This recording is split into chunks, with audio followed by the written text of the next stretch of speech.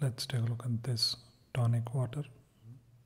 This is by Fentimans. They've been around since 1905. Connoisseurs tonic water, botanically brewed, infused with the natural botanicals. Beautiful packaging. This is manufactured in uh, Northumberland, UK. Costs around uh, 160 rupees or uh, two dollars or so.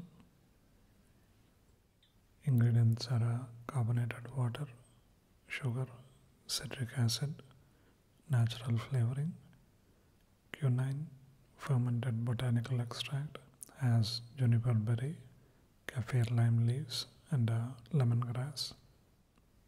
So let's taste it.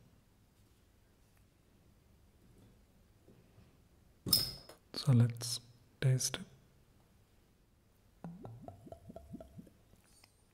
Nicely carbonated, quite sweet and sour, and you can definitely taste those uh, berries and lime.